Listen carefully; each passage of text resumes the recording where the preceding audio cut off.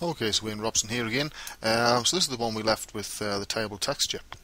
Um, we've got a displacement. I've deleted the bump channel because we don't need uh, that particular one. Um, let's just make it a little bit more interesting. Um, so I'll quickly just create a bump channel um, and I'll import. When I find it on the computer, because it's went and put it into a different folder. This is what you do for not preparing things. Right, um, let's try the specular. Um, I just quickly just added a bit of um,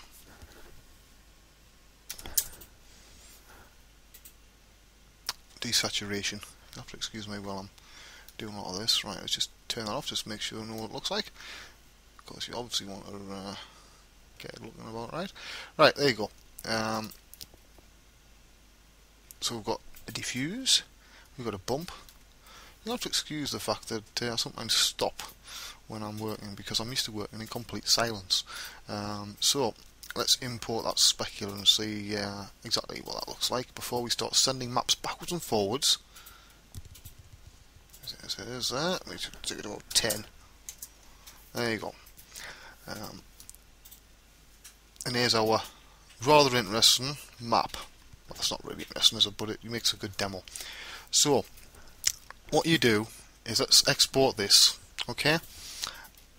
I would save that as a diffuse, okay? So let's just save that out. It's a PNG. Now I'm also going see that there. There's a specular map. I'll just quickly open the diffuse, okay? Now let's do something really crazy, okay? Just to make it really obvious what's happening here. Um, so I've got the brush there. There's a text layer we don't need. Make the brush a bit bigger. Let's add a really big red dot right in the center. Okay. Now let's just save this file. Okay. Wait for it to save it. it's a uh, 2K PNG there. So uh, remember, there's capture software running, Photoshop running, etc., etc. So let's just go and jump back to mud, and then just go refresh selected. Right? And there you go. It's as simple as that. now, the one drawback of this, and this has nothing to do with Mudbox, this is to do with uh, Photoshop. Um, if you want to do it the other way around, right, let's say that uh, I have my airbrush, or better still the pencil, and we'll pick, um, let's see, a nice one down here. That will do. We'll give that a blue colour, like that. Stick it with some randomize on, and we're going to paint something else, and then we want to send it back to Photoshop, and we'll notice something. So, send the uh, get the brush there art, and just quickly, we've got it like that. Okay, there you go. It's covered it right over. In fact, let's just undo that because that's way too saturated. You can't see a thing. So there you go. There it is. There's a nice blue thingy.